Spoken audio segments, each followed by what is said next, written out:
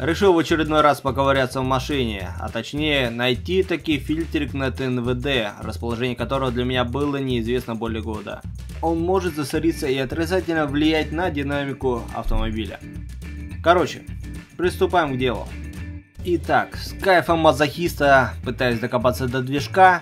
А, почему мазохиста? Потому что нужно разобрать пол салона.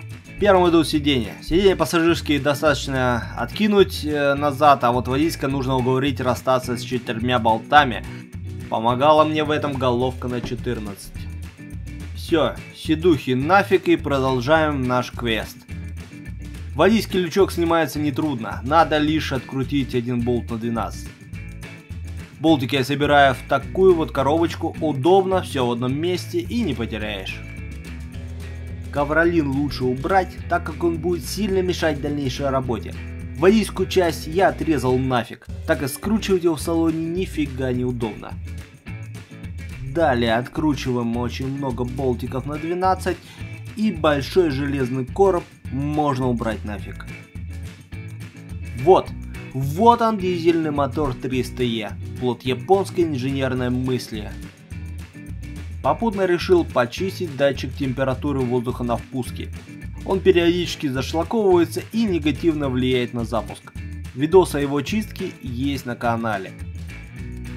Итак, сеточка обнаружилась в том месте, где у меня по схемам ее нет. Здесь его нет. Это впускной э, магистраль. Я его нашел вот здесь вот у меня оказывается, он под датчиком находится. Здесь вот датчик какой-то идет. В общем, вот эту штуку я открутил. Открутил.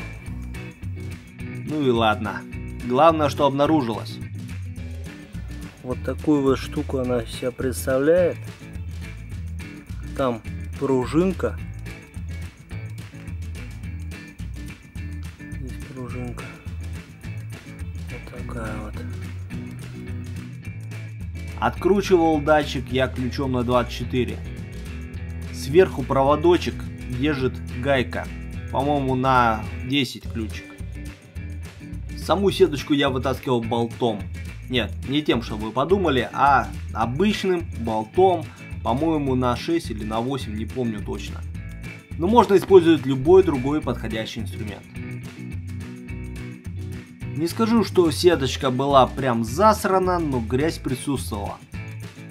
Пропшикал ее аэрозольным очистителем и замочил немного в керосине. Ну, в принципе, результат устроил. Цель достигнута, задача решена, пора все собирать обратно.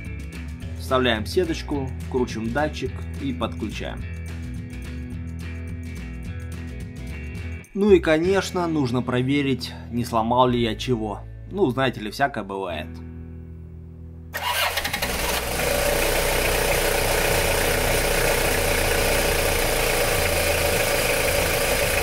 Вау!